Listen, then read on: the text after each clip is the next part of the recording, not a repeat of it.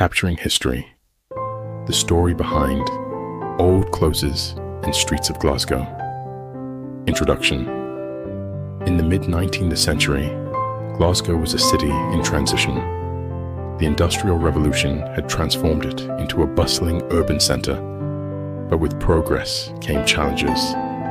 The old parts of the city were plagued by overcrowding, poverty, and unsanitary living conditions.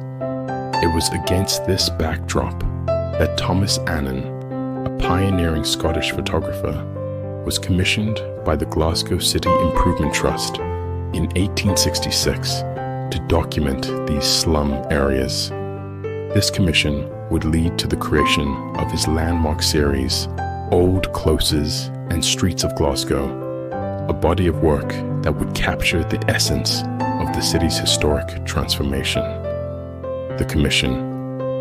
In 1866, Glasgow's civic leaders recognized the need for urban renewal to address the dire living conditions in the city's oldest quarters, to preserve a record of the areas slated for redevelopment. They turned to Thomas Annan, known for his skill in architectural photography. The Glasgow City Improvement Trust commissioned Annan to photograph the slums before they were demolished and replaced with modern housing. The project. Armed with his camera, Annan ventured into the narrow, winding streets and dimly lit closes of old Glasgow. These areas were home to thousands of residents living in cramped and unsanitary conditions.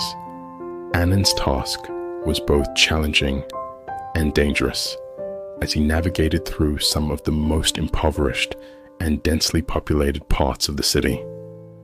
The process. Photography in the 19th century was a laborious and meticulous process. Annan used the calotype process, which involved coating paper with silver iodide and developing the images with gallic acid. This technique required long exposure times, often necessitating that his subjects remain still for extended periods. Despite these challenges, Annan's images captured the stark reality of life in the slums with remarkable clarity and detail. The photographs. The resulting series, Old Closes and Streets of Glasgow, was published between 1868 and 1877. Annan's photographs are haunting and evocative portraying the squalor and decay of the old city. Dark, narrow alleyways lined with tenement buildings, children playing in the streets, and families gathered in dimly lit rooms all tell the story of a community on the brink of transformation. Impact and legacy. Annan's work was not merely a documentary effort, it was a powerful social commentary his photographs brought attention to the plight of Glasgow's poor and underscored the urgent need for urban renewal.